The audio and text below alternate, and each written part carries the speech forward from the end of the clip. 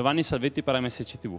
Professore, il Cardinale Maradiaga nella sua Lectio Magistralis ha accennato alla complementarietà fra etica e economia. Come può l'economia essere al servizio della crescita della persona? Ma l'economia dà delle opportunità.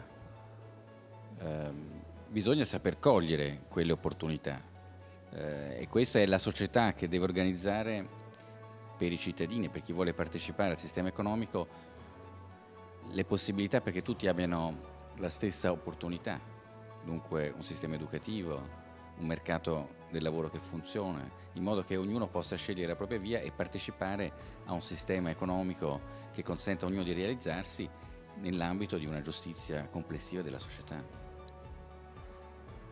Grazie. E recentemente è uscito il suo libro Morire di austerità, le democrazie europee con le spalle al muro la nostra domanda è perché si muore di austerità e come si può evitare tutto questo?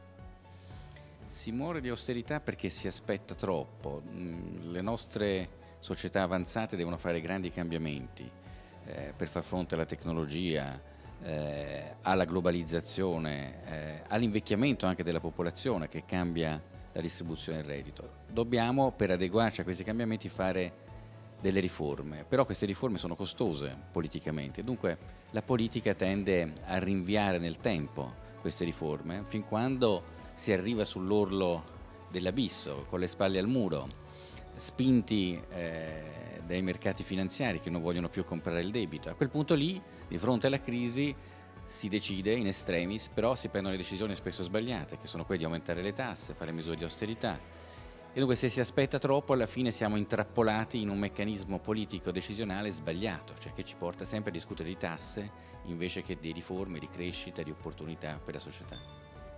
A proposito dei giovani e l'impresa, quali sono le sfide che deve affrontare un giovane oggi e nel suo futuro se vuole fare impresa?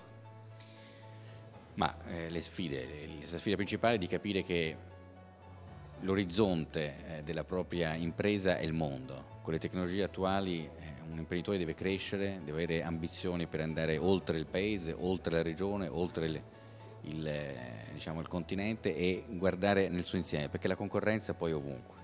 Dunque deve avere grandi ambizioni, deve avere anche la capacità di innovare, di andare a cercare quelle che sono le migliori opportunità eh, ovunque e poi essere consapevoli che eh, alla fine è il merito che conta, se ci si confronta a livello globale è il merito, non sono le relazioni, le raccomandazioni, Dunque un giovane che vuole puntare alla propria crescita professionale deve guardare soprattutto al merito e capire qual è il settore dove vuole andare e eh, andare fino in fondo. Giovanni Salvetti per MSC TV.